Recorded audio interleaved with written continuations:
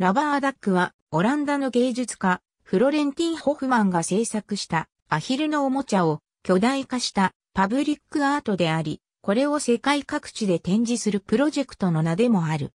ホフマンによると、ラバーダックは年齢や人種に関係なく、子供の頃の記憶や思い出を思い起こさせ、幸せや喜びの象徴でもある。ラバーダックは2007年からオランダをはじめ、フランス、ドイツ、ブラジル、ベルギー、日本、ニュージーランド、香港、中国、アゼルバイジャン、アメリカ、オーストラリア、台湾、ベトナム、韓国などで展示された。外側はポリ塩化ビニルのシートを組み合わせて風船状に作られており、水上に浮かべた台の上に接合され、台上に置かれた送風機で膨らませている。2009年にはベルギーでの展示で42カ所も刺されるという被害にあったこともある。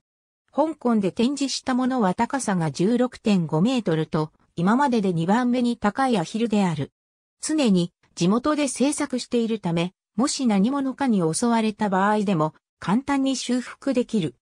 日本では2009年に大阪府市統合本部などが大川で開催したイベントついと大阪2009の際に、八軒家浜に高さ9.5メートルのラバーダックが設置され、この主催者である千島土地が2010年以降も大阪市や尾道市でのイベントにラバーダックを提供している。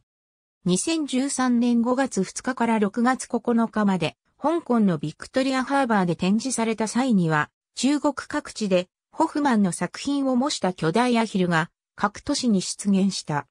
また、巨大、ラバーダックと天安門事件が関連付けられたコラージュ写真がインターネット上に出回ったため、6月5日には、新郎美白でこの黄色いアヒルの検索ができない状態になった。ありがとうございます。